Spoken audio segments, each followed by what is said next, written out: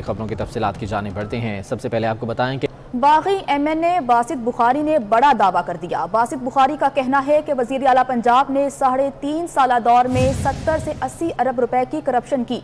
ऐवान वज़ीर अला में करप्शन का रेट बढ़ चुका है। उस्मान बुजार के वजारत आला से हटने पर सब सामने आ जाएगा। ट्वेंटी फोर न्यूज़ के प्रोग्राम दस्तक में गुफ्तु करते हुए उनका मजीद का कहना था। आपको दिखाते हैं। कितनी करप्शन के सबूत है, सर? ये है, सर, ये मतलब माली करप्शन हुई है अगर? कितनी करप्शन हुई है पंजाब के अंदर? किस नौयत की हुई है? इस हवाले से भी बताइएगा।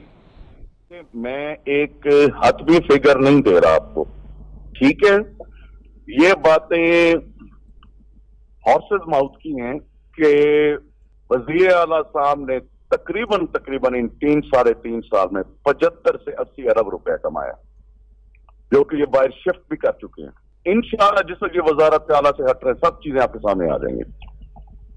और जुम्मे में पचहत्तर से अस्सी अरब रुपए का फिगर दिया अपोजिशन लीडर शहबाज शरीफ कहते हैं, कौमी हुकूमत की तजवीज़ पर सियासी जमातों का रिएक्शन आया।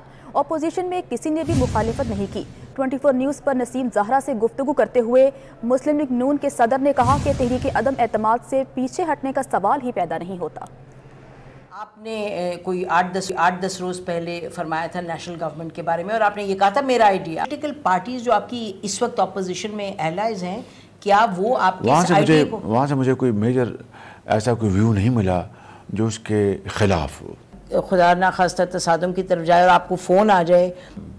As far we are concern हमने अपोजिशन हमने जो अब वोट ऑफ़ न्यू कॉन्फ्रेंस की जो मोशन दी है I think it's no going back ना पीटीएम ने महँगाई मार्च के मकाम पर तैयारियाँ शुरू करने का फैसला कर लिया है। मौलाना फजलरहमान की जेर सदारत पीटीएम के अजलास में काफिलों के शेड्यूल, सिक्योरिटी और दीगर उमूर पर मुशावरत की गई। पीटीएम ने पच्चीस मार्च को श्रीनगर हाईवे पर मुजाहरे की दरख्वास्त दे दी है। दूसरी जानब नून लीग के लॉन्ग मार्च में मामूली तब्दीली कर दी गई है। मार्च मरीम नवाज़ और हमजा शहबाज की क्यादत में छब्बीस मार्च को लाहौर से रवाना होगा। मजीद जान लेते हैं, उस्मान खान हमारे साथ मौजूद हैं। उस्मान, बताइएगा इस बारे में।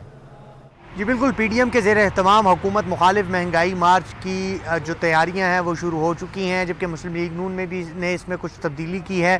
मुस्लिम लीग नून का जो लाहौर से मरीम नवाज़ और हमशा शहबाज की क़्यादत में काफ़िला निकलना था, चौबीस को, वो अब चौबीस के बजाय छब्बीस मार्च को लाहौर से रवाना होगा और अट्ठाईस मार्च को इस्लामाबाद पहुँचेगा। मुस्लिम लीग नून ने आज एक अहम इजलास किया था।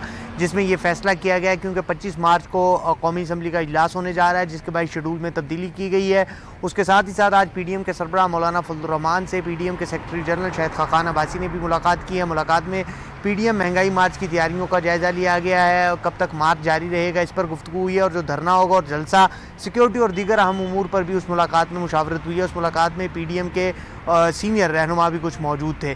दूसरी जानब आज जे यू इस्लामाबाद ने डिप्टी कमिश्नर इस्लामाबाद हमजा शफकात को तहरीरी तौर पर बाबा दरख्वास्त जमा करवा दी है, जिसमें यह कहा गया है कि पी डी एम पच्चीस मार्च से तीन अप्रैल तक जो है वो जी नाइन और एच नाइन के दरमियान अपना पड़ाव करेगी, जहाँ पर जलसा भी होगा, मुजाहरा भी होगा और ये धरने में भी तब्दील होगा।